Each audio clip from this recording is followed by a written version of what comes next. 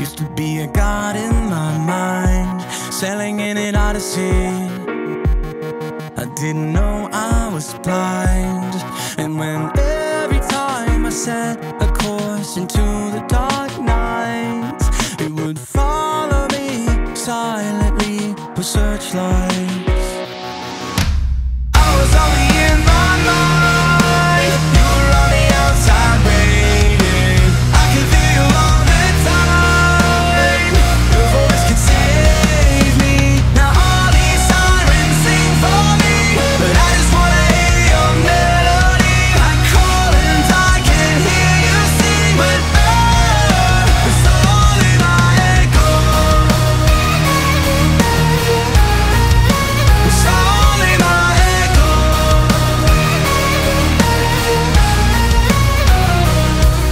it was destiny.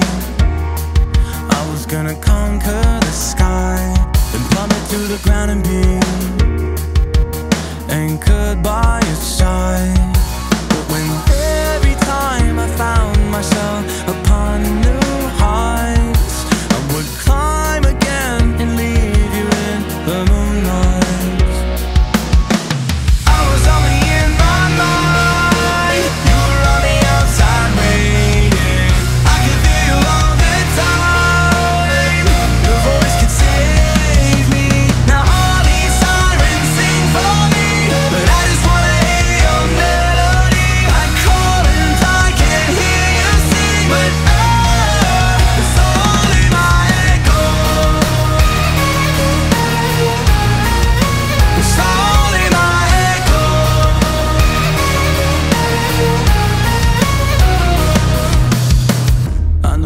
a journey So what happened to me? Tell me, why was I in such a hurry?